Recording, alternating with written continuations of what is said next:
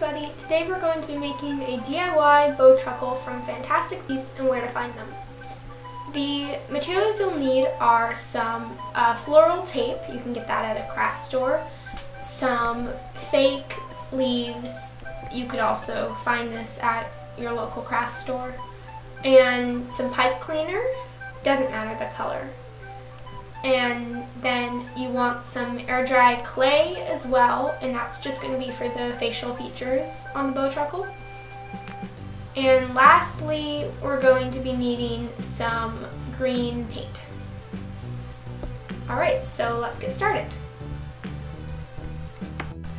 To start off, we're going to shape our pipe cleaner into the shape of the Bowtruckle. So I just did this by cutting different pieces and attaching them on for the arms and the legs. And to make sure I was getting the right shape, I just looked at a picture of a Bowtruckle online and then went off of that. Once I had a shape I was happy with, I started wrapping the entire thing in the floral tape. And this does two things. Number one, it makes it all nice and kind of even and it's not um, fuzzy. And then number two, it makes the pipe cleaner a little bit more stable so the arms and the legs are more solidly attached rather than just kind of tying them on.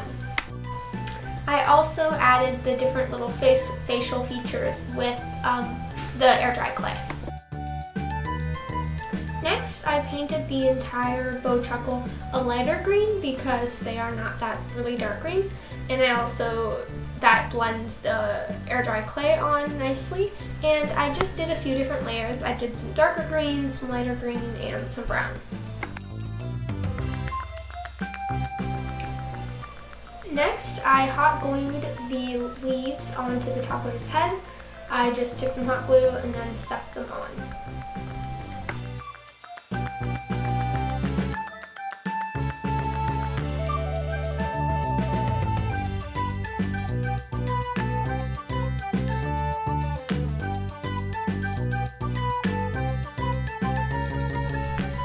Finish off the Bowtruckle, I added some different little details with paint. I painted some brown spots all over his body and then once again I just looked online to make sure that I was getting them in the right location and yeah, that's about it.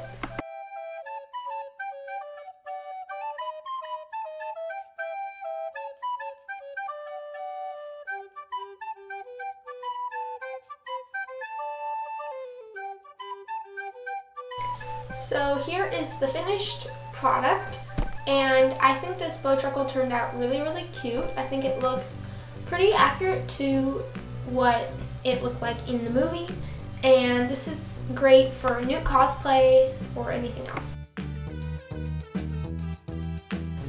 Thanks so much for watching and make sure to like and subscribe for more videos.